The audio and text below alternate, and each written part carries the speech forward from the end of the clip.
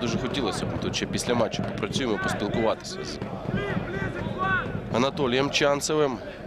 Тому все це сьогодні о 21.30 у профутболі. Сандро Кобахідзе 4-0.